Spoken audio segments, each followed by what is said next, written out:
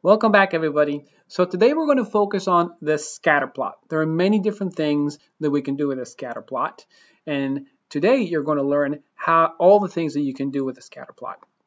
We're going to do this all in Python and we're going to use a library called Plotly which is up and coming and actually pretty um, commonly used uh, Python library to create a bunch of diff different data visualization graphs or charts or dashboards.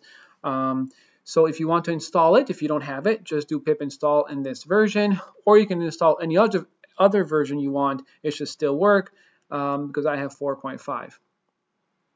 Okay, um, also uh, download this code below the video in the description below the video so you can you can follow it and open the first or the second link will be this. It'll take you to the Plotly Express scatter um, library method where you can see all the parameters we're going to go over. So all of these parameters we're actually going to review today so you understand each and every one of them and how they work. Uh, if you need to pause the video so you can take a look at it while we go and cover uh, each one of these parameters. All right, so you have Plotly installed. You're going to also import pandas and the rest of these libraries. And we're going to play around with the data set that is inside Python uh, Plotly Express data. It's tips, it's called tips. We're just going to change the, the table uh, size. With this column name, we're going to call it table size. And this is what you're going to see. This is the data we're going to play around with. Take a look. Okay, so you see that we're going to see uh, a column, total bill column that we're going to see. We're going to play around with uh, the tip uh, that each person gave, uh, the sex of that person, uh, whether they're a smoker or not, the day, uh, the time, and the table size. Okay, let's minimize this again. All right. Okay, so to start, we'll go over this in, in towards the end. Um, to start, let's, this is all the code.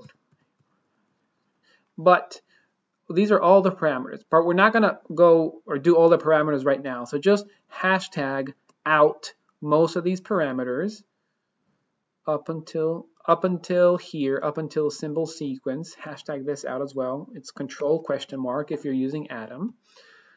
So they're just like comments and just leave these three open for now. Okay.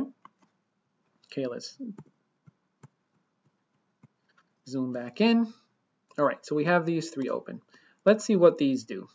Let's upload the graph and see what it gives us. Because here I'm playing around with size and symbol.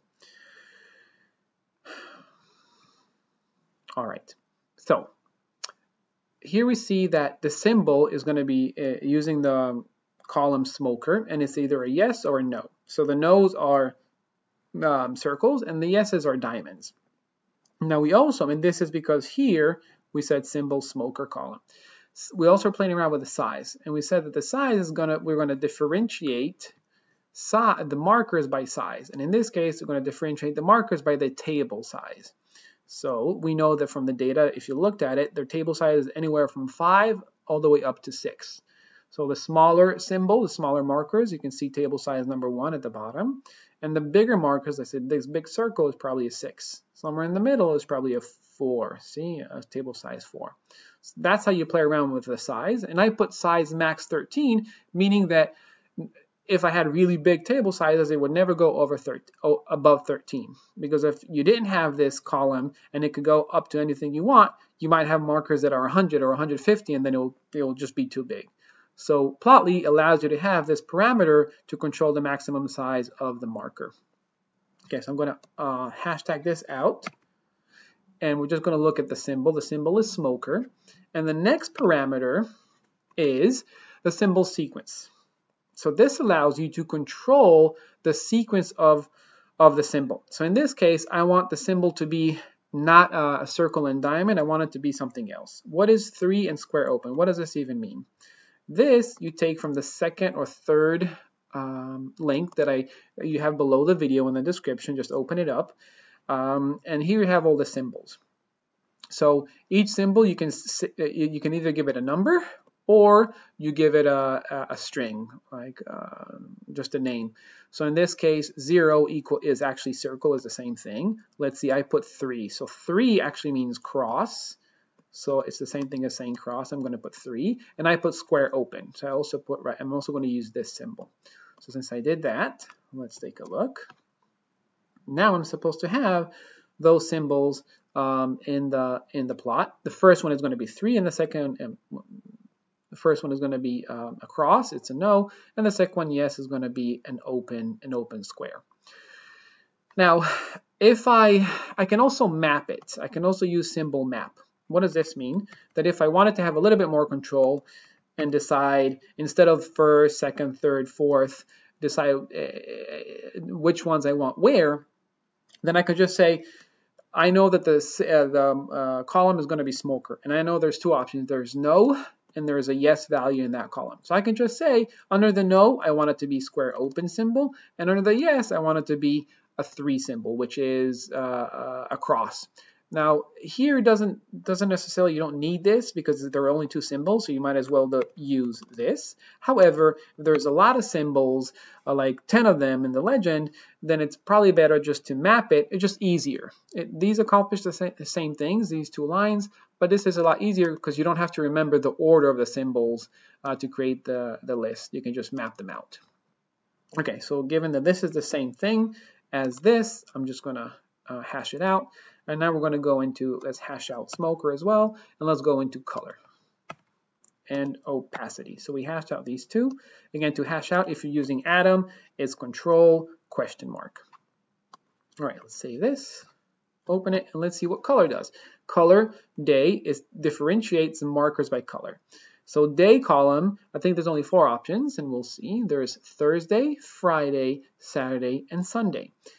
And um, so each one by default got their, got their own color. We didn't choose the color, uh, Plotly automatically gave them their color. Uh, each color is a different day. And the opacity we put here is 0.5 because I don't want it too dark. So you see that the markers are a bit, are a bit clear. Um, if we wanted, if we wanted them to be a lot darker, a lot more bold, we will put 1 under opacity right here instead of 0.5. The options are anywhere from 0 to 1. Okay. So let's go to the next one. Discrete sequence. So here, just like this one, is very similar to symbol sequence. Here you can play around with the color. Instead of allowing Plotly to give the color by default, you can say, I want these colors to be the colors of the different values under the day column. So the first one is going to be red, then it's going to be green, and then blue, and then black. You can only do this in a discrete when the color column isn't numeric data, when the data is discrete, meaning that in this column day, the values are, days, Thursday, Friday, Saturday, Sunday. They are not numerical. Because they're not numerical, you can use this.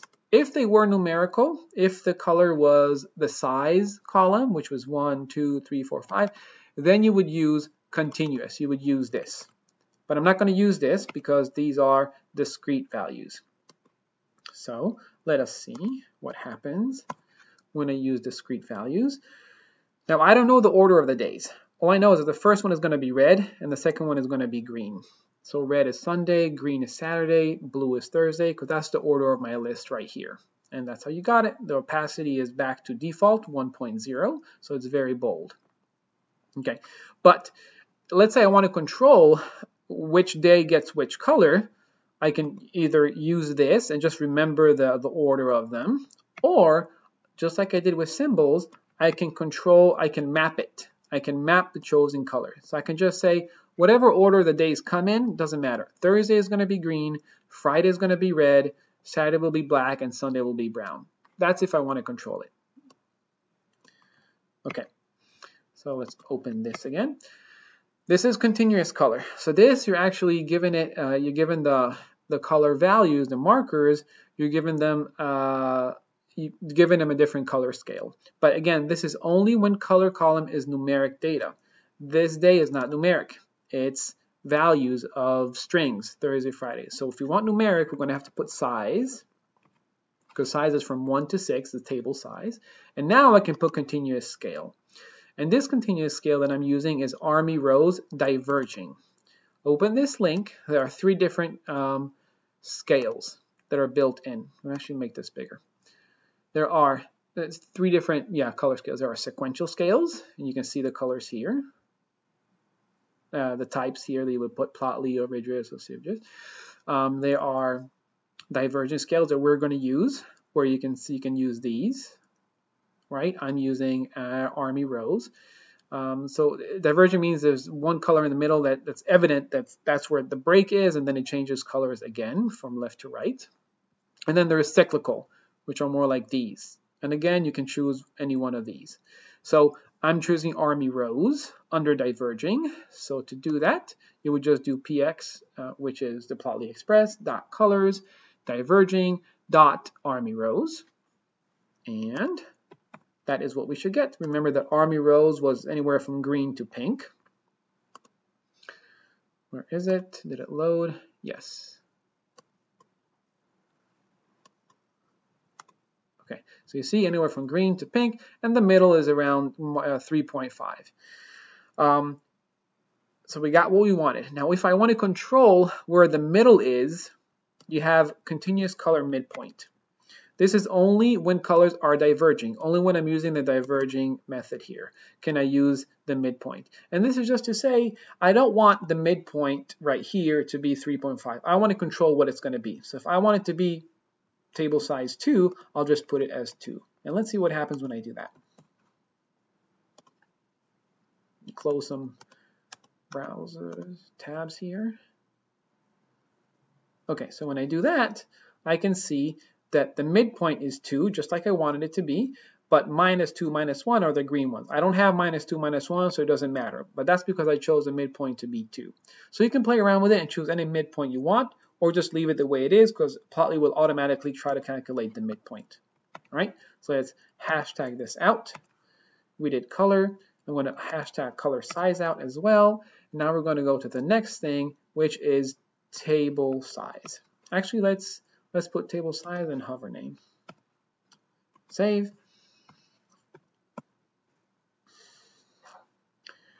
Let's upload this and let's see what it gives us.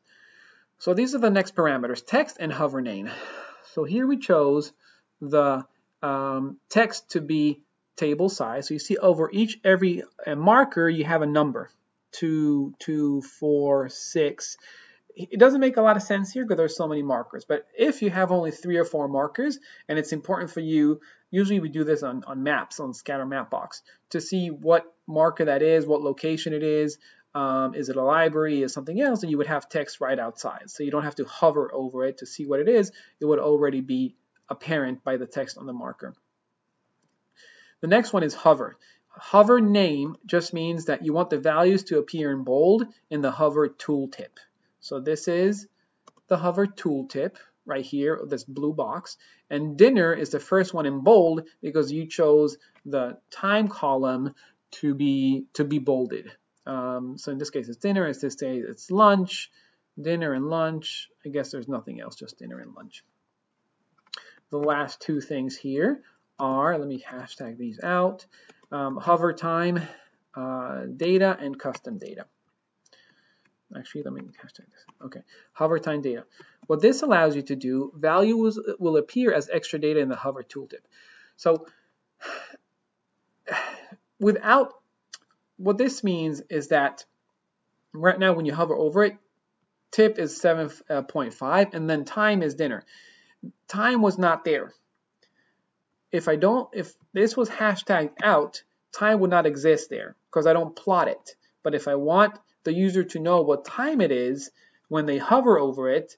I want the markers hover to present it, then I just I do that. I just I add the hover data parameter. I add uh, uh, the list uh, of the column time, and now this is as you can see here is added time equals dinner.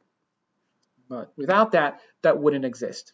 The last column or the last parameter that we're going to talk about right now is the custom data and this is going to give us a table size. But it's not going to add it to the figure, it's just going to add it to the back end uh, memory. So now, see, table size is not there. Table size does not appear as a hover. but it does appear in the custom data. It's, it's a bit complicated to understand if you're not using Dash or interactive capabilities, but this is going to be very useful when you start using Dash, which is built on Plotly and allows you to create interactive graphs, like with uh, drop downs or range sliders, and you tell the user to choose a certain day on the drop down. Um, it's very important to have the capability to, to choose more values. Now, since we table size, we did not graph in any way. It's not on the x-axis, it's not on the y-axis, it's not a color marker, it's not a symbol. It doesn't exist for this figure.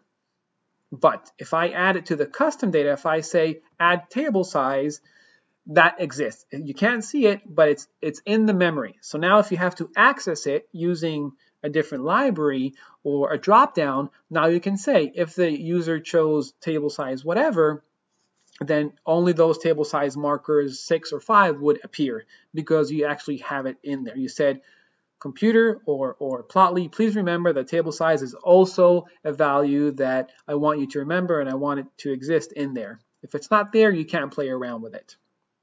If you have any questions, please ask me below the, the YouTube video. I'll be happy to answer.